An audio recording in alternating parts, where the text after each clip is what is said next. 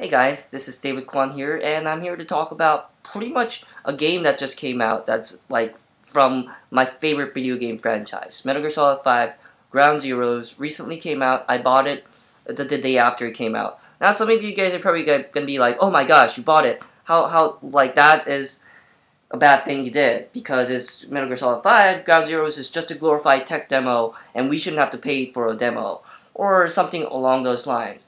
And I could see that there's there's some validity to that kind of sentiment, although I don't really liken Ground Zeroes as a demo, but I see it as a tease, which is I know that may, maybe that's that's worse, but it's a, a like Kojima has said, it is very small sample of what is to come, and that it's like a I don't know, it's like an appetizer, but not really because it leaves you wanting so much more.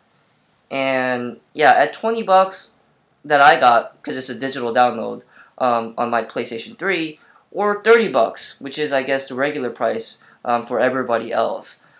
It's, it's kind of a hard sell that you're actually paying money to be teased um, for an upcoming product two years or three years down the road. Who knows when Phantom Pain will come? I have no idea, but this is a tease of an upcoming project years down the road. And so paying money for it, I understand there can be reservations about it. Uh, and some people are worried that this will set a precedent for game companies to start doing this. And that I disagree with. You know, there has been many precedents like this before. I don't think it necessarily ruins the industry or whatever.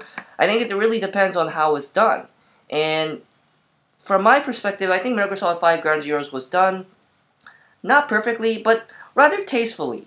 I think this this is this is an acceptable way of doing things. I know Kojima has said before that he really wants he really likes the the episodic gaming model, something like The Walking Dead, um, or all the Telltale games that come out, Sam and Max, and Jurassic Park, Back to the Future. Those kind of games come out episodically. Half Life Two, you know, Half Life Two, Episode One, Episode Two. They did kind of episodic content here and there with DLC and things like that. This is kind of like I think Kojima's take on that kind of model. And it's not necessarily like I don't you know, there isn't such a disconnect for me here that like, oh now game co- game companies can just do a whole bunch of on anti-consumer things. I mean, it's it's 20 bucks digital download, 30 bucks for uh, the regular retail box pricing. It's priced and it's it's a tease of what's to come. But as a as a game itself, it's I don't know. The it, it's it's short on content, sure, but it, it it is what it is. We all know what it is getting into it. And um, for those wanting Metal Gear Solid 5 experience, like what Kojima is trying to do to rebrand the franchise, as he always does with with each iteration, if you're excited for that, like this is this is a good game to go for it without um, it's not super expensive. It's a very reasonable price. What the original price point was ten bucks higher. It was like thirty bucks digital download, forty bucks for the physical copy. That was ridiculous. But after they dropped it down ten dollars, I think it's a pretty reasonable price, and there is precedent for it. You know, something like Gran Turismo 5 Prologue is probably the perfect example of it, because Gran Turismo 5 is like this gigantic game that not everyone liked because they waited so damn long for it. But it is a gigantic game if you compare it to Gran, Gran Turismo 5 Prologue. Prologue was like 40 cars, uh, 16, 8 tracks, and, and 8 reverse tracks. Very small sample.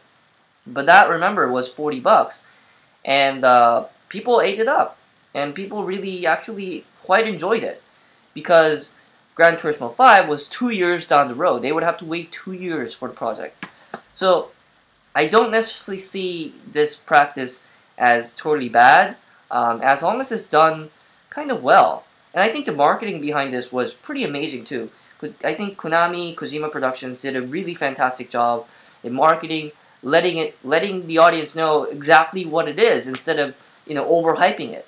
There, there are comparison videos that just showed up, like this is what it looks like on Xbox One, on PS4, on PS3, on Xbox 360, and they just showed the game. They didn't hype it up. They didn't just like, here's the game, take a look at it, and that was it. It wasn't like anything like the uh, the controversy about like aliens, colonial marines, or or or even Dark Souls 2. You know, they didn't show a game that wasn't what it was. They showed the game for what it was, and they they just like here it is.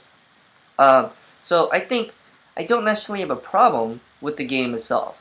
Um, if you're a big Metal Gear fan, if you like stealth games, um, you know, if you like Kojima's games, like I think this is a good good kind of uh, experience to to to take you know get a tease of before Phantom Pain. If you don't want to and wait for Phantom Pain, I think that's that's totally fine as well. But the lore that is in Ground Zeroes, and there is not much of it, and I'll get to it in a later video.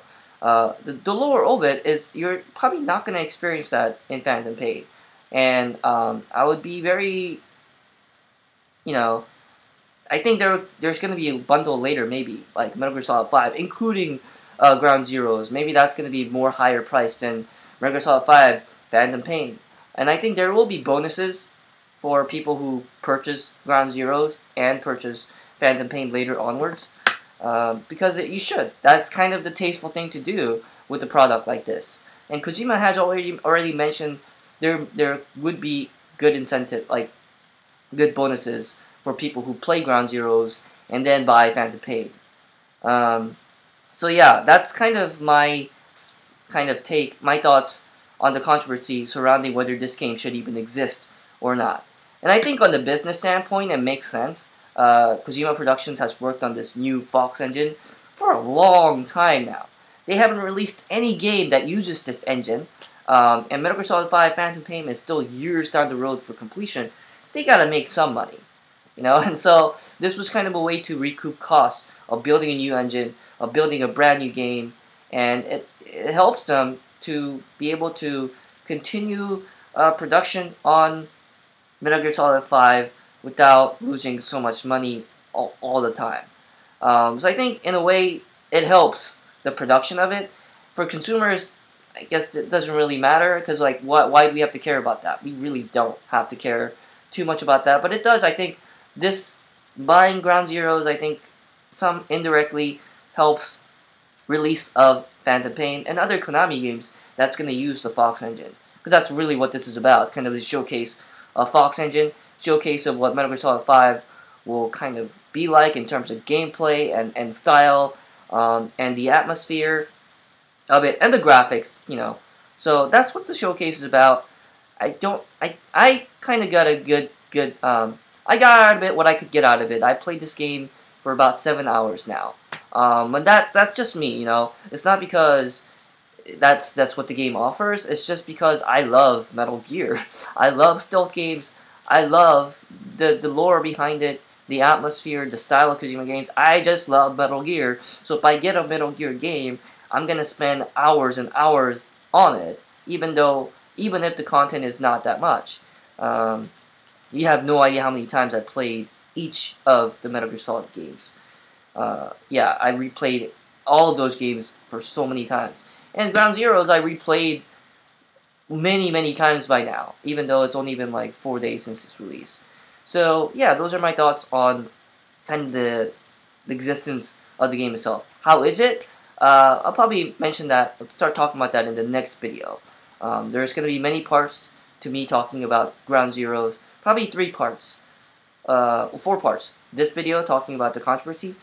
The second video I'm going to talk about how is it Second part, I'll talk about the story, so spoilers. And third part, um, this game integrates with my iPad or any tablet, and it's freaking amazing. I want to talk about that as well. Um, oh, and now for this video, I want to end with this.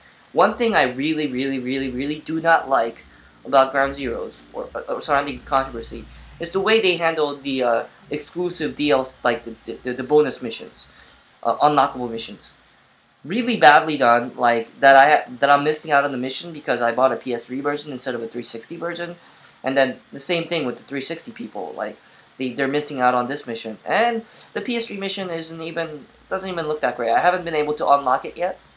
Uh, the way you have to unlock it is also frustrating. That you have to collect all these badges uh, in this open world environment, and there's like no clues on where to find them or how you find them. So I've been able to find six so far, but it's just like, man, so much effort to unlock a bonus mission, and they they, they could have done a better job with the the extra bonus mission. I've looked at some YouTube footage of the Deja Vu mission for the PS3 version or the PS4 version. Doesn't even look that fun. It's like recreating events from Shadow Moses on. Doesn't look that fun at all. Like it, it, I don't see what the big deal is uh, that it had to be done this way. This was a really bad, bad, just just a marketing ploy that I really did not agree with. Um, but yeah, that's pretty much my thoughts on the product as a whole. Uh, in the next couple videos, let's get to talking about the game itself.